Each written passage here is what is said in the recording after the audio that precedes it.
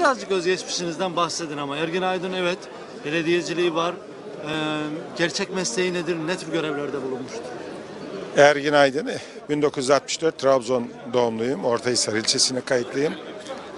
Ben öncelikle şahsımın inşaat mühendisi olduğunu ifade etmek istiyorum. Çünkü çoğu kişi bilmiyor mesleğimle ilgili. Herkes beni belediye başkan yardımcısı olarak, belediyeci olarak biliyor. Bir de siyasetçi olarak biliyor. Zaman zaman da spor yöneticisi olarak biliyor. Ben e, inşaat mühendisiyim. 30 yıldır da 33 yıldır proje mühendisliği yapıyorum.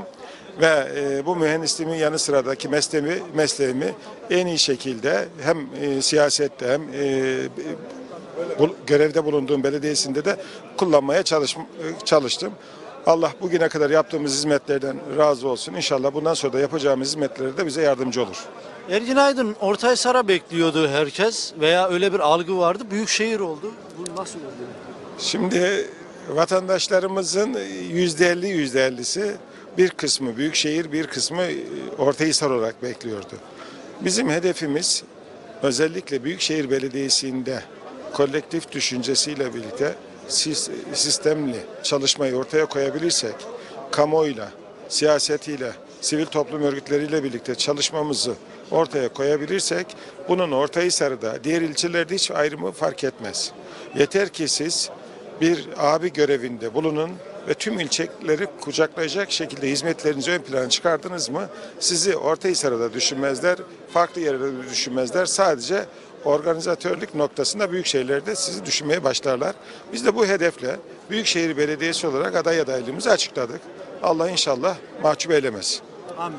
Peki başkanım e, bir görevdeydiniz. Son olarak hangi görevi icra ediyordunuz? Evet. O göreve geri dönüş söz konusu mu? Biz e, bulunduğumuz görev itibariyle birlikte istifamız söz konusu değil.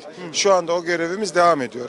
Bildiğiniz gibi Türkiye'nin ilk inşaat sektöründe e, birisinde yönetim kurulu üyesi Murat Azayız, azasıyız o şirketin ve o görevimiz halen daha devam ediyor.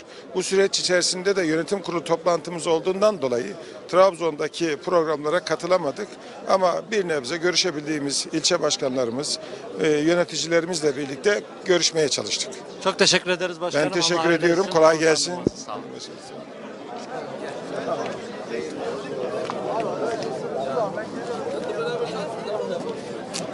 Biraz daha ileri.